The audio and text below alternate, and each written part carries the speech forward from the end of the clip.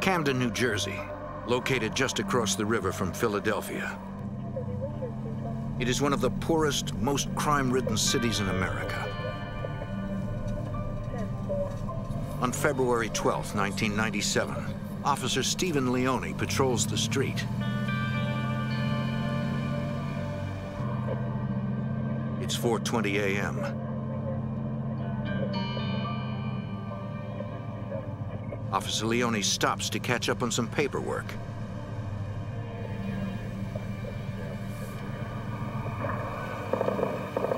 I heard a massive amount of gunfire coming from the east side of Camden. Gunfire in excess of 50 rounds.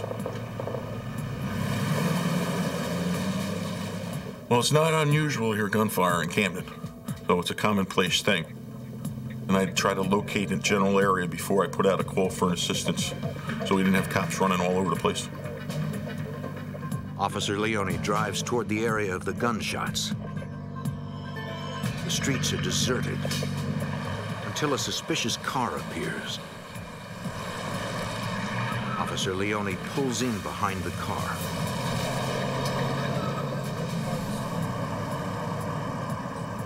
Then it appeared that the vehicle saw that I was a patrol vehicle and he made a left-hand turn.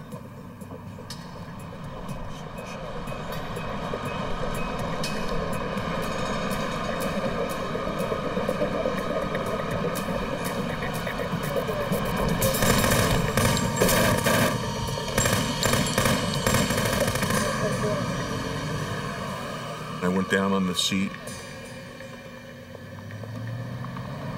and then I came up and I could taste my own blood.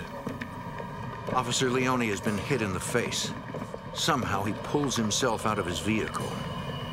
I bailed out of the car to take up a tactical position in the rear of my vehicle in case my assailants attempted to come back or they were still in the area.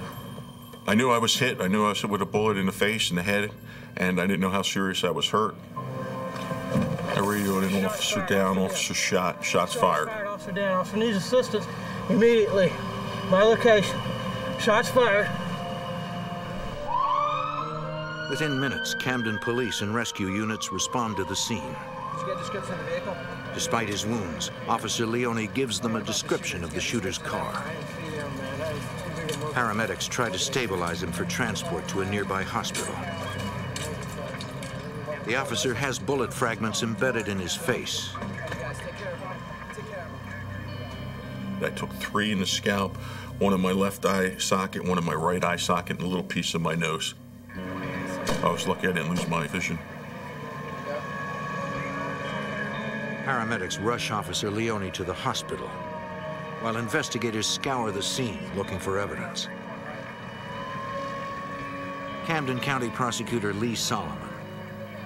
The idea that somebody would be so brazen, so arrogant, um, to fire a weapon at a police officer is something that we mobilize against very quickly.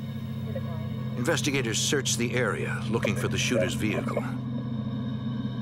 Police are called to a house not far from the crime scene. A neighbor heard gunshots earlier that evening. We a call for shots being fired out here. So They notice the front door is riddled with bullet holes. I, I hear something banging at my door. According to the man, Must have been a sledgehammer earlier that night, somewhere. Someone tried to break down his front door. The resident grabbed his gun. The intruders heard him moving in the house and opened fire. The resident returned fire, forcing the attackers to retreat.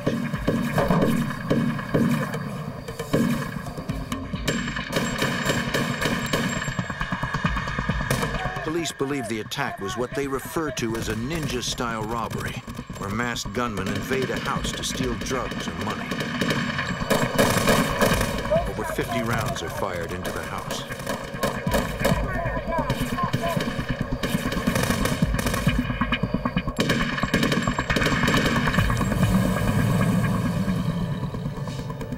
One of the uh, bullets passed through a wall, a refrigerator, the rear wall of the residence, and the projectile was never found. Another went through a ceiling, floor ceiling, through the roof. Again, the projectile was never found. These were high-powered weapons, and so there was cause for concern.